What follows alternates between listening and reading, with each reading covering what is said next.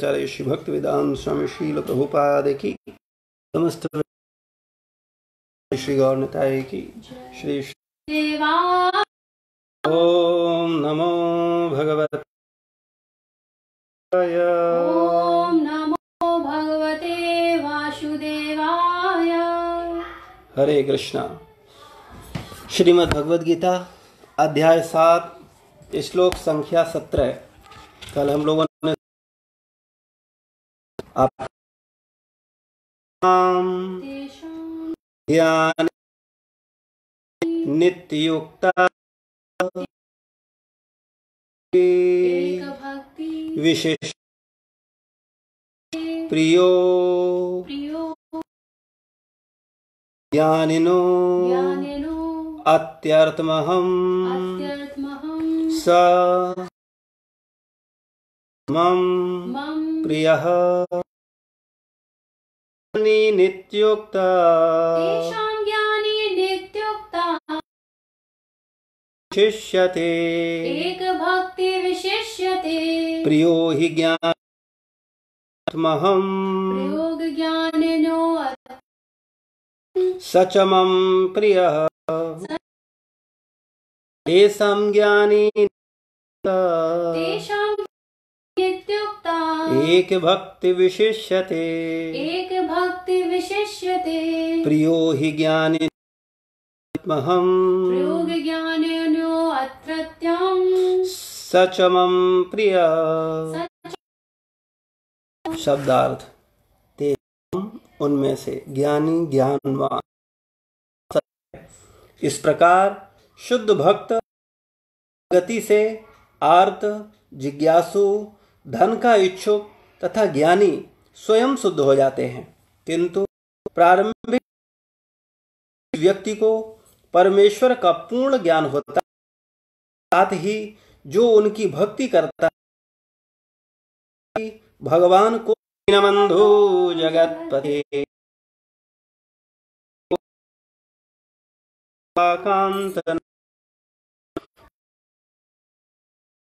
राधे। श्रुते देवी प्रणमामि हरिप्रिये। वाञ्छाकल्पतरुभ्यश्च कृपा सिन्धुभैव च पतितानां उपस्थिति पर बताया, जैसे मैं जल का स्वाद हूँ, सूर्य तथा चंद्रमा का प्रकाश हूँ, वैदिक मंत्रों में ओंकार हूँ। और इस तरह से चर्चा होते होते बोलने के बाद भगवान बोलते हैं कि मैं जो कुछ हूँ, मैं मैं ही हूँ। लेकिन जो तीन गुणों से ग्रसित है सतोगुण रजोगुण, तमोगुण से, वो व्यक्ति मुझे नहीं जान जो शुद्ध भक्त है, शुद्ध सतोगुण में स्थित है, भगवान से प्रेम करते हैं। आज भगवान बोल रहे हैं, इस सत्रहवें अध्याय में, इनमें से जो परम ज्ञानी है और शुद्ध भक्ति में लगा रहता है, वह सर्वश्रेष्ठ है। सबसे श्रेष्ठ कौन है? जो परम ज्ञानी है। परम ज्ञानी का मतलब जो शुद्ध भक्ति में लगा है, जो वास्तविक भक्ति में लगा हुआ है, वो परम ज्ञानी है। कई बार भक्तों को, मैं अत्यंत प्रिय हूँ और वह मुझे प्रिय है। भक्त को भगवान के अलावा और कुछ पसंद नहीं है। केवल भगवान ही उसके जीवन का आधार है और भगवान भी भक्तों के लिए क्या क्या नहीं करते। नरसी का उदाहरण दे सकते हैं। नरसी का भात लेके जाते हैं। ढेरों भक्तों को किसी का आटा पिसवाते हैं, किसी भक्त का विभिन्न कैसी कैसी सेवा अर्जुन का रथ हाँकते हैं। तो भगवान की नज़र में भी केवल भक्त हैं, भगवान भक्तों से विशेष प्रेम का आदान प्रदान करते हैं। भले ही वो सर्वत्र सारी व्यवस्थाओं को सब कुछ करने वाले भगवान हैं, लेकिन भगवान के हृदय में भी भक्तों के लिए एक विशेष स्थान है। और भक्त के लिए तो भगवान के अलावा और कुछ है ही नहीं। भक्त के लिए सर्वस्व भगवान ही है। तो प्रभुपाद जी लिखते हैं कि मैं उसे अत्यंत प्रिय हूँ और वह भी मुझे प्रिय है। भगवान का भी ध्यान उस भक्त के प्रति केंद्रित रहता है। भगवान अपने भक्त की प्रत्येक एक्टिविटी पर नज़र रखते हैं, उसको प्रत्येक कर्म बंधन से मुक्त करते हैं, अपनी शरण में लेते हैं। भक्तों के जीवन में जो उतार चढ़ाव आते हैं, वास्तविकता में वो उनके पूर्व जन्म का फल या माया के अधीन न होकर के भगवान उनके जीवन में खुद सुख या दुख लाते हैं जिससे उनका और शुद्धिकरण हो सके। लेकिन ऐसी स्थिति हम जैसे भक्तों के साथ नहीं है। ऐसी स्थिति उन शुद्ध भक्तों के साथ है जिनके सर्वस्व भगवान है। जिनके जीवन का एकमात्र लक्ष्य भगवान को प्रसन्न करना है। ऐसे जीव जीते जी मुक्त हो जाते हैं और उनका जीवन का लक्ष्य केवल भगवत प्रेम, भगवान की प्रसन्नता ही मुख्य आधार है। तो इसलिए हम सब लोगों को भी अपने जीवन का आधार भगवान को बनाना है। और इसका अभ्यास धीरे धीरे हमको प्रयास करना है और वो प्रयास शुरू होते हैं भगवान के पवित्र नाम से।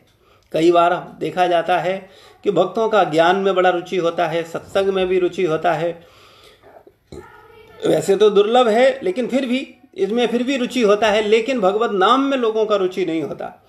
भगवत नाम के प्रति वो कहेंगे, दो माला किया है, चार माला करते हैं। ऐसा नहीं। हमको निरंतर कम से कम सोलह माला का जाप करना चाहिए, क्योंकि इस संसार में कभी भी हमको ये मैसेज मिल सकता है कि अब तुम्हारे जाने का समय आ गया है।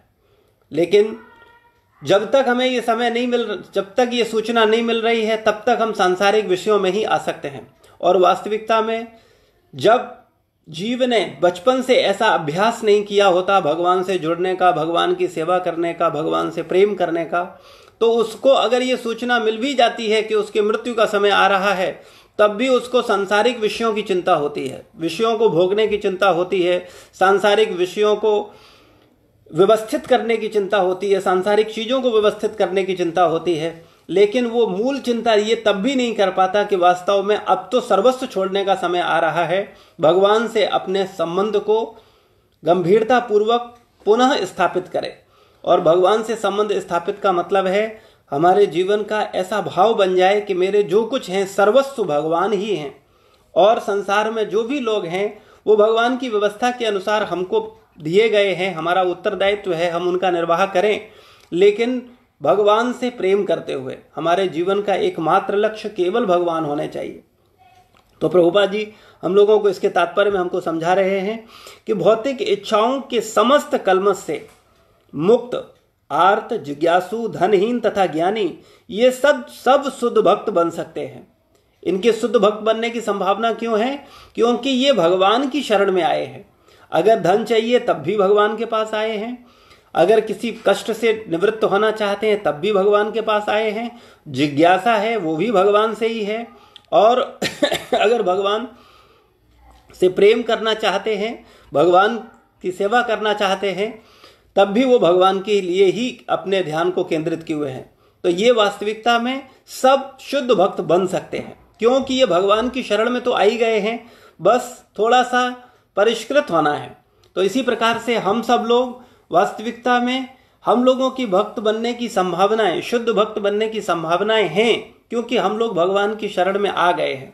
लेकिन ये हमें खुद देखना होगा, क्या हम वास्तव में भगवान की अनन्य भक्ति में आए हैं? क्या हम वास्तव में भगवान के प्रति ही समर्पित हैं? या कहीं ना कहीं हमारी अपेक्षाएँ देवी देवताओं या सांसारिक मनुष्यों से भी हमारी कुछ आशाएँ हैं। अगर हमारे सर्वस्व भगवान नहीं है तब हमने निश्चित रूप से भगवान की शरण नहीं ली। भगवान की शरण लेने का मतलब है, हम जो कुछ भी हमको चाहिए, जो कुछ भी इच्छा है, वो केवल भगवान से किया केवल भगवान के पास रखी जाए।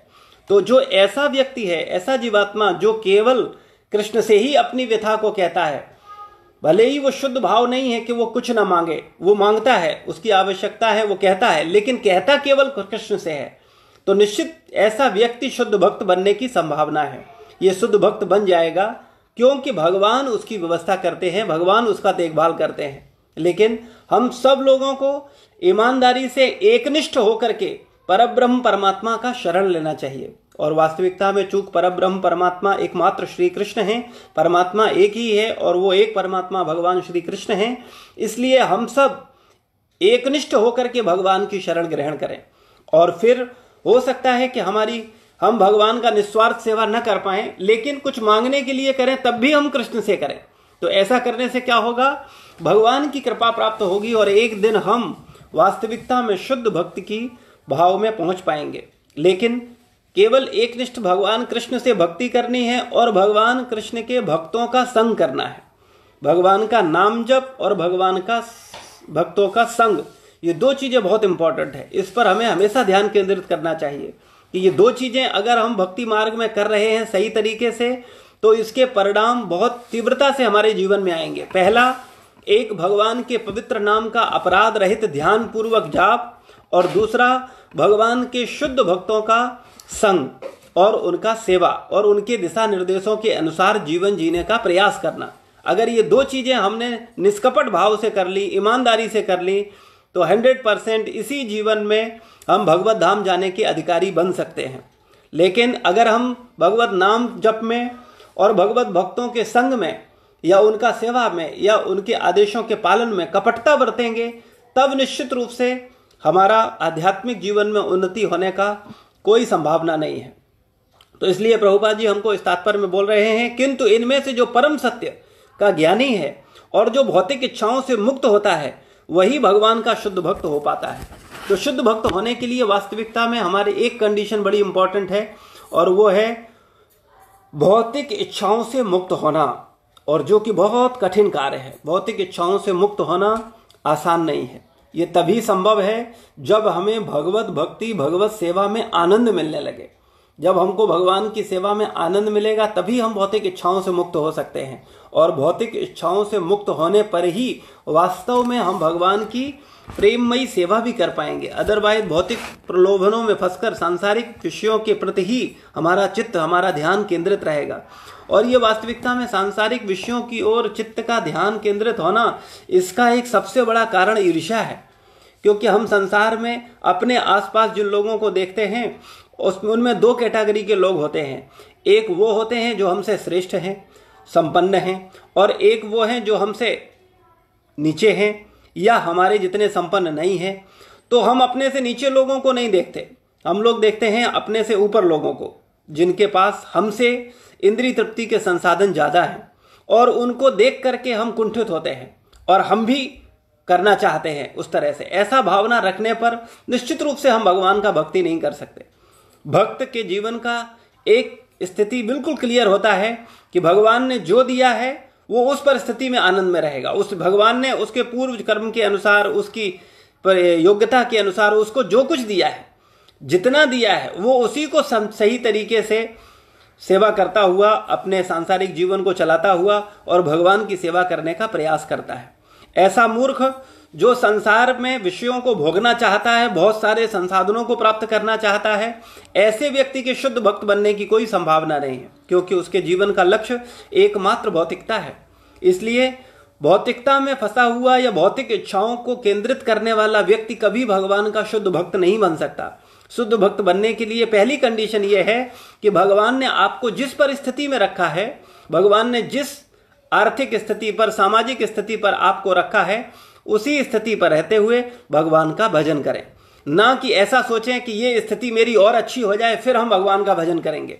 मेरे पास और अच्छा धन आ जाए, फिर हम भगवान की भक्ति करेंगे। तो ऐसा सोचने वाला व्यक्ति कभी भगवान की शरण ग्रहण नहीं कर सकता। इसलिए अगर हमें भगवान की शरण ग्रहण करनी है तो हमें ईर्ष्या से मुक्त होना होगा। यानी हमारे, हमेशा संसार में आपसे ऊपर लोग रहेंगे और आपसे नीचे रहेंगे। तो इसलिए ये मूर्खता होगी कि अगर हम अपने से ऊपर लोगों को देख करके और अपने आप को केवल भौतिक विषय भोगों में लगाएँ। हाँ संसार का निर्वहन करने के लिए जो भगवान ने हमको संसाधन दिए हैं, उनका निर्वहन हम ईमानदारी से करें और भगवान का भक्ति करें। लेकिन हमारा लक्ष्य स्पष्ट होना चाहिए, क्योंकि हमें इस संसार में हमेशा नहीं रहना है। इस संसार में धन, वैभव, परिस्थितियाँ हमारे साथ हमेशा नहीं रहेंगी। कभी भी हम शरीर छोड़ देंगे। इसलिए इस सत्य को स्वीकार करते हुए, अपने कर्तव्यों के निर्वहन का पालन करते हुए, भगवान की भक्ति को प्राथमिकता दें। जबकि संसार में भगवान की भक्ति को प्राथमिकता तो छोड़ो सेकेंडरी पे भी नहीं है। केवल भौतिकता ही भौतिकता है लोगों के जीवों में, लोगों के जीवन में। तो इसलिए हमको थोड़ा सा ईमानदार होना होगा और हमें ये समझना होगा कि हम लोग इस संसार में हमेशा के लिए नहीं है। इस संसार में हमको दस बीस तीस साल बचे हैं रहने के लिए। और इन दस बीस तीस सालों में मेरे मेरे जीवन का एकमात्र लक्ष्य भगवान के शरणागत होकर भगवान को प्रेम करना होना चाहिए।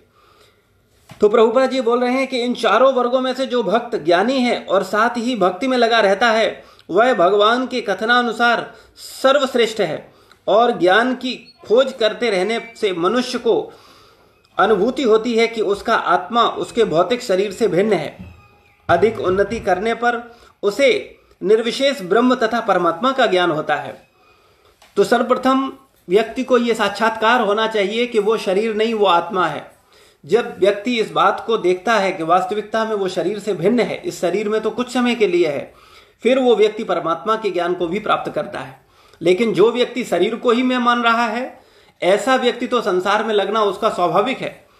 लेकिन जिस व्यक्ति को थोड़ा सा भी किंचित मात्र भी इस बात का एहसास है कि वास्तविकता में वो शरीर नहीं है, ये शरीर उसने कुछ समय के लिए धारण किया है, ये शरीर कभी भी छूट जाएगा। ऐसा व्यक्ति निश्चित रूप से परमात्मा की खोज में निकलता है और परमात्मा की भक्ति करके परमात्मा को प्राप्त भी करता है।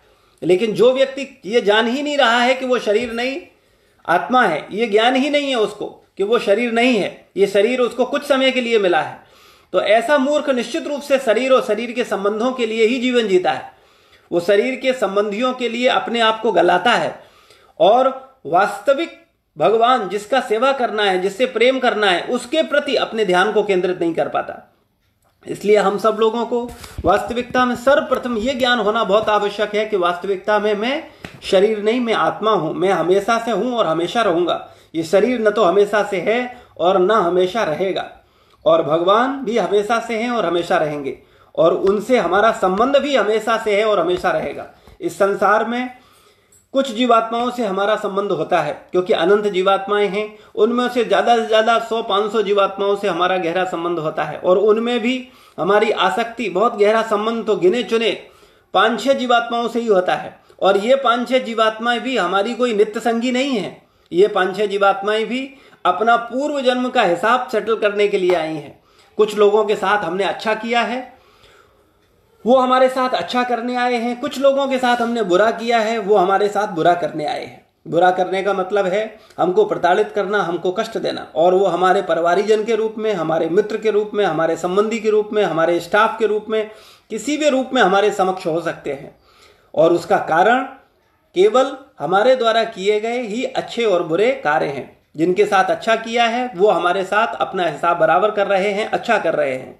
और जिनके साथ हमने बुरा किया है, वो अपना पुराना हिसाब बराबर कर। इसलिए हमको ना अच्छे और ना बुरे, ना अच्छे से प्रेम करना चाहिए, ना बुरे से घृणा करनी चाहिए। हमारा ये कॉन्सेप्ट बिल्कुल क्लियर होना चाहिए कि अगर कुछ अच्छा हो रहा है तो ये निश्चित भगवान की कृपा है, और जो बुरा हो रहा है, वो निश्चित रूप से हमारे पूर्व दुष्कर्मों का परिणाम है।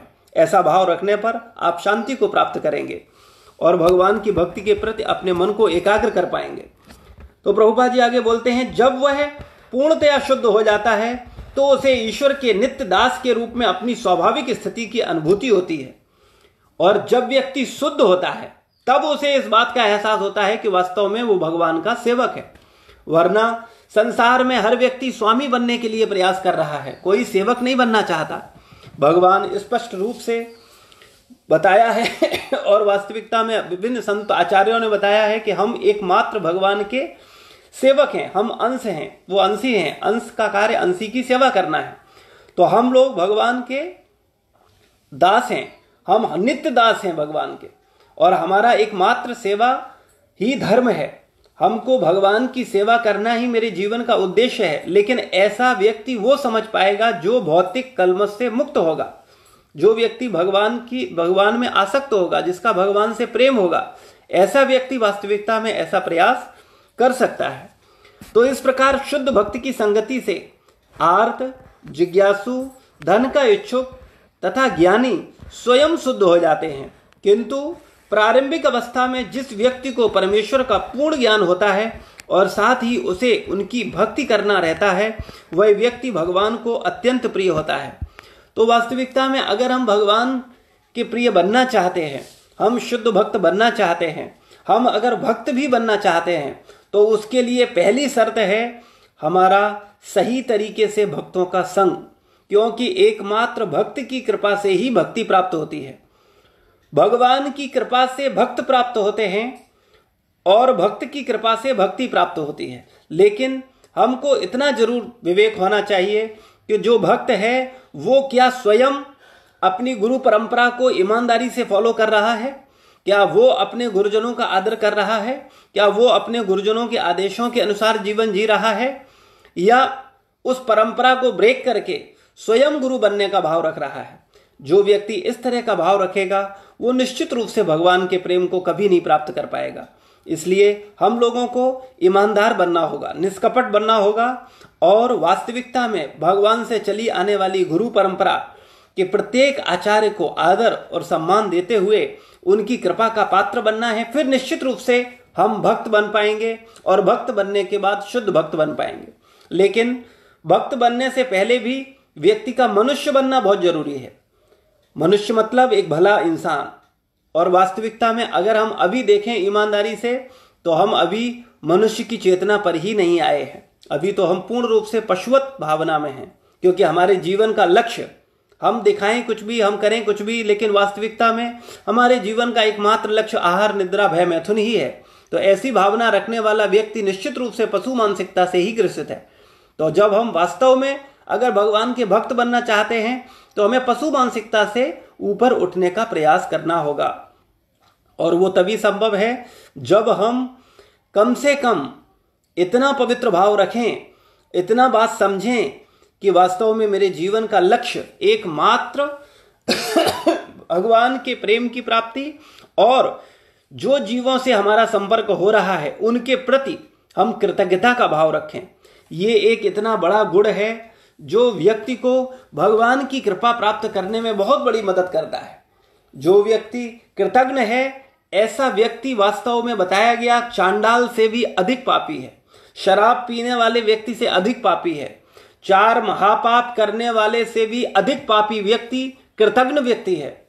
और वास्तविकता में अगर हम ईमानदारी से अपने अंदर झाँक करके देखें तो हम सब कृतज्ञ हैं। लेकिन हमको कृतज्ञ बनना चाहिए। हमको एहसान मंद बनना चाहिए, एहसान, फरामोश नहीं होना चाहिए। ये नहीं सोचना चाहिए, जब तक जिससे काम बने, काम निकालो और उसके बाद उसको लात मारो।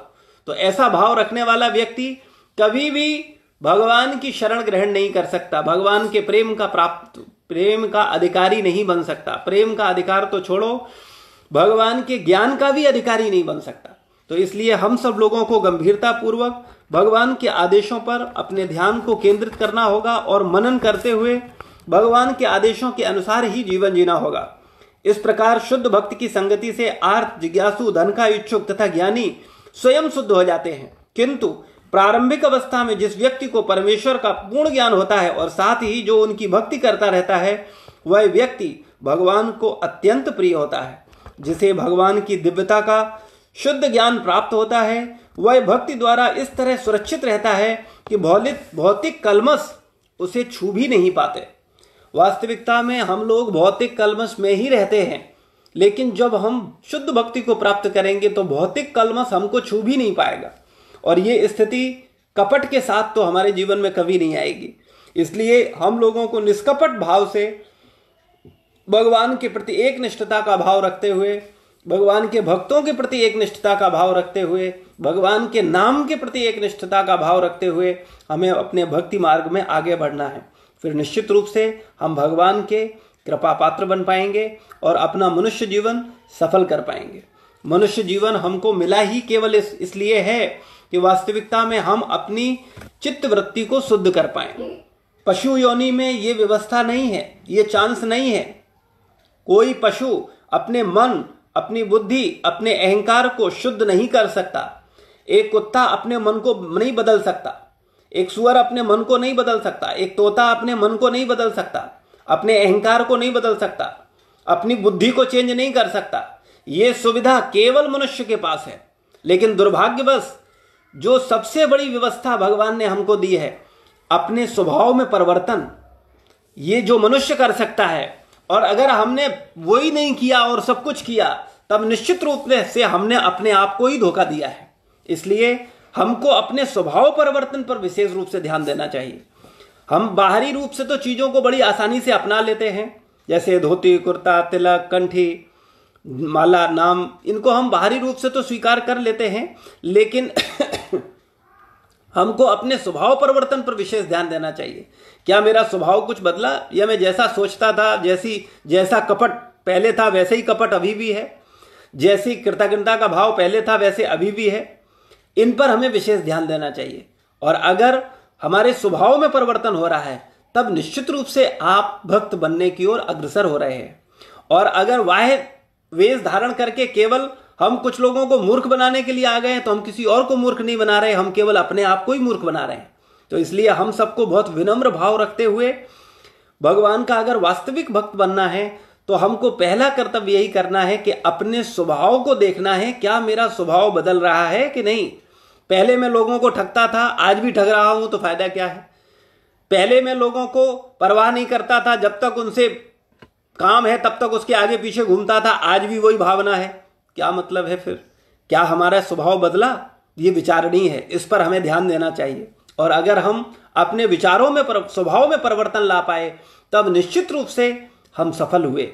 और ये स्वभाव में परिवर्तन बिना एक निष्ठता के शरण लिए बिना संभव नहीं है। क्योंकि अगर हम अपने स्वभाव को परिवर्तन कर पाते, तब तो कब का कर लिया होता। हम तो अपने बाहरी आचरण को भी परिवर्तित नहीं कर पाए। बाहरी आचरण का परिवर्तन भी, बाहरी व्यक्तित्व का परिवर्तन भी, वेश का परिवर्तन भी, ये भक्तों की कृपा है, ये वैष्णवों की कृपा है। लेकिन दुर्भाग्यवश, अहंकारवश, हम सोचते हैं, अब हमको किसी की कोई आवश्यकता नहीं है।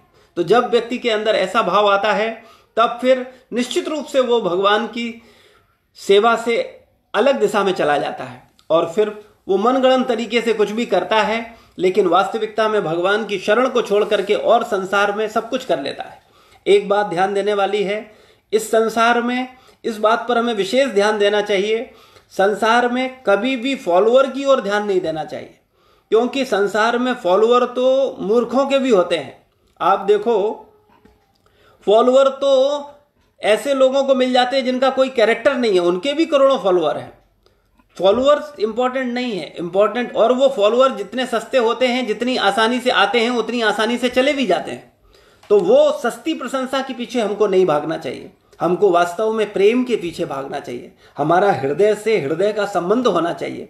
अगर भक्तों के संग में आने के बावजूद भी हमारा हृदय से हृदय का संबंध नहीं हुआ, अगर भक्तों के संग में आने पर भगवान भक्ति में आने के बाद अगर हमारी आसक्ति अपनी पत्नी और बच्चों जैसी भी भगवान और भगवान के भक्तों से गुरुजनों से नहीं हुई, तब निश्चित रूप से हम आध्यात्मिक जीवन में हमारा प्रवेश भी नहीं हुआ है।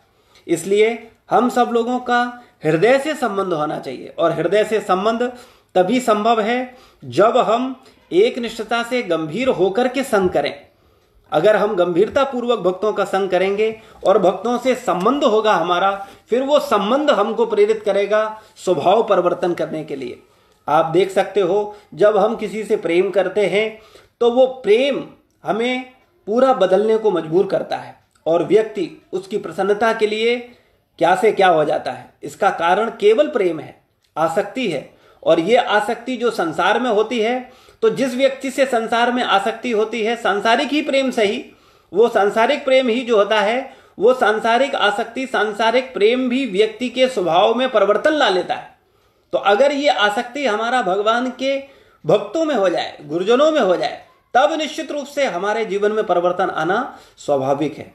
लेकिन अगर हमारी हृदय से आसक्ति नहीं हुई, हम अगर अंदर से नहीं जुड़े तब निश्चित रूप से हमारे आचरण में, हमारे स्वभाव में परिवर्तन आना नामुमकिन है। इसलिए हमको अपने स्वभाव परिवर्तन पर विशेष क्योंकि स्वभाव परिवर्तन केवल मनुष्य कर सकता है। और ये हमको घबराना चाहिए, ये मेरी चिंता का विषय होना चाहिए कि ये मनुष्य शरीर के कुछ समय बचे हैं, कभी भी शरीर छूट जाएगा और मेरा मन जैसे का तैसे ही है। बुद्धि जैसी की बल्कि जैसी की तैसी नहीं, हमने संसार में आकर के अपने मन और बुद्धि को और गंदा किया है। और ये मन और बुद्धि ही आपके अगले जीवन का, आपके स्थूल शरीर का कारण बनने वाली है। ये बड़ा गंभीर विषय है। अगर इस पर आप वास्तविकता में मेडिटेट कर पाए, चिंतन कर पाए, आपका सूक्ष्म शरीर आपके स्थूल शरीर का कारण है। जिस व्यक्ति का सूक्ष्म शरीर सुंदर है, उस व्यक्ति का स्थूल शरीर भी सुंदर है। और जिस व्यक्ति का सूक्ष्म शरीर कपट भरा हुआ है, गंदा है, उसका स्थूल शरीर भी गंदा है। ये बड़े आप अनुभव की चीज़ है। आप इसको करके देखिए, क्योंकि भागवत में, शास्त्रों में बताया गया कि पुण्य आत्माओं को ही चार चीज़ें मिलती हैं। तो इसलिए हमको कम से कम, पहले पवित्र आत्मा तो बने, पुण्य आत्मा तो बने, क्योंकि पुण्यवान व्यक्ति ही सत्य को समझ सकता है, सदविचार रख सकता है, पापी व्यक्ति नहीं समझ सकता। हालाँकि भक्त को पुण्य विषय भोगों को भोगने के लिए पुण्यवान नहीं बनना है, लेकिन सुकृतिवान ज़रूर बनना है, जिससे वो भगवान का भगवान को समझ सके, भगवत ज्ञान को समझ सके। तो मनुष्य जीवन हमको मिला है केवल आत्मशुद्धि करने के लिए। आत्मशुद्धि का मतलब है आत्म तो वैसे, आत्मा तो वैसे ही शुद्ध है। आत्मशुद्धि का मतलब है मन, बुद्धि, अहंकार का शुद्ध होना, सूक्ष्म शरीर का शुद्ध होना। और अगर हम अपने सूक्ष्म शरीर को शुद्ध नहीं कर पाए तो निश्चित रूप से यह मनुष्य जीवन धारण करना हमारे लिए व्यर्थ हो जाएगा। हम अपनी चेतना को देखें कि हम पहले क्या सोचते थे और आज कैसा सोचते हैं। हम पहले ज़्यादा बचपन में ज़्यादा कपटी थे या आज ज़्यादा कपटी हो गए हैं? हम पहले ज़्यादा ईमानदार थे या आज ज़्यादा ईमानदार हैं? हम पहले ज़्यादा कृतज्ञ थे या आज ज़्यादा कृतज्ञ हैं? तो ऐसे ये भाव रखते हुए हमको चिंतन करना चाहिए और अपना परीक्षण स्वयं करना चाहिए, बड़ी ईमानदारी से करना चाहिए, क्योंकि हमसे ज़्यादा हमें कोई नहीं जानता। और अपना परीक्षण करने में असमर्थ हो, क्योंकि अपना परीक्षण हर कोई कर भी नहीं पाता। अगर ऐसा एहसास हो कि हम अपना परीक्षण नहीं कर पा रहे हैं तो हमको ईमानदारी से अपनी प्रशंसा नहीं, गुरुजनों के पास, वरिष्ठ भक्तों के पास जाकर के अपने दोष सुनने चाहिए। लेकिन दुर्भाग्यवश, आज के समय में कोई भी व्यक्ति अपने दोषों को नहीं सुनना चाहता। वो चाहता है केवल उसकी पीठ थपथपाई जाए, उसको बढ़िया बोला जाए कि बहुत अच्छा तुम बहुत अच्छे हो, तुम्हारे समान तो कोई नहीं है। तो अगर हम ऐसी भावना से ग्रसित रहेंगे, तब मेरे भक्त बनने की कोई संभावना नहीं है। फिर निश्चित रूप से चाटुकारता बस कुछ सांसारिक काम निकाल लिए जाएँगे लेकिन उस सांसारिक कामों से भगवत प्रेम, भगवत भक्ति, ये प्राप्त होना, ये तो स्वप्न की बात हो गई। इसलिए हम सबको ईमानदार बनना होगा और अपने स्वभाव में परिवर्तन करना होगा। स्वभाव परिवर्तन ही वास्तविक साधना है। अगर स्वभाव परिवर्तन नहीं हो रहा है, तब निश्चित रूप से हम अपने आप को धोखा दे रहे हैं। तो हमको, अगर हम वास्तव में साधना करना चाहते हैं तो हमें देखना चाहिए कि पहले मैं दूसरों में दोष देखता था, अब मेरे दोष देखने में कमी आई है और वृद्धि हो गई है। अगर हमारे अंदर दोष देखने में वृद्धि हुई है, तब निश्चित रूप से हमने अपने स्वभाव को और गंदा किया है। और अगर हमने दोष देखने बंद कर दिए हैं, तब निश्चित रूप से आपने बड़ी उपलब्धि हासिल की है। इसलिए अगर हम वास्तविक भक्त बनना चाहते हैं तो हमको कभी किसी भक्त में दोष नहीं देखना चाहिए। दोष देखने का मतलब है, हम अपने चित्त को ही गंदा कर रहे हैं।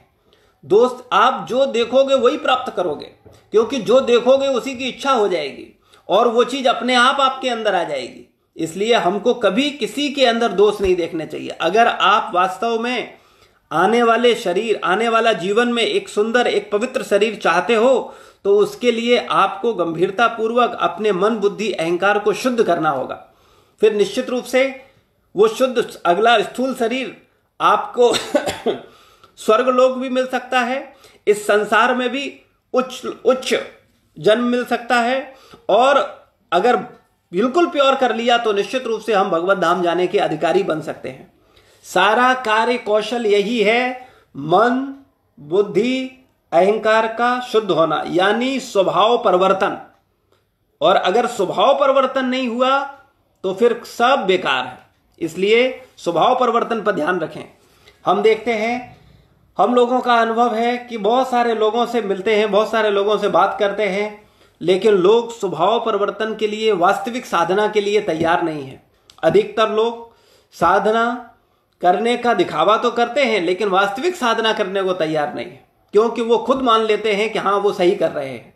अगर वास्तविकता में गंभीरता पूर्वक ईमानदारी से आकर के अपने दोषों को सुनने की इच्छा हो और आकर के अपने दोषों को जाने, पूछें कि मेरे अंदर क्या कमी है और ये भाव, ये प्रश्न बड़ी विनम्रता पूर्वक हो कि सामने वाले व्यक्ति को लगे कि यहाँ वास्तव में ही अपना सुधार चाहता है, तब निश्चित रूप से हमको सदमार्ग मिल सकता है। हमारी मदद हो सकती है, लेकिन मदद उसी की की जा सकती है जो मदद लेना चाहता हो। जिसको मदद की आवश्यकता नहीं है, उसकी कोई मदद नहीं कर सकता। मदद उसी की हो सकती है जो वास्तव में अपने प्रति ईमानदार है, या जिसको मदद चाहिए। और जो व्यक्ति सोच रहा है कि उसको मदद की आवश्यकता नहीं है, वो तो और दस की मदद करने को तैयार है। तो फिर ऐसा व्यक्ति कहाँ मदद के लिए जाएगा? तो इसलिए हम लोगों को कपट भावना से निकल करके भगवान की शुद्ध भक्त बनने का प्रयास करना चाहिए। यही हम सबका मनुष्य जीवन में मूल लक्ष्य है। शील प्रभुपाद की जय, गुरु महाराज की जय, समस्त भक्त वृंद की जय। निताय गौर प्रमानंदे। किसी भक्त का कोई प्रश्न है, कोई जिज्ञासा है तो पूछ सकते हैं। धन्यवाद। शील प्रभुपाद की जय।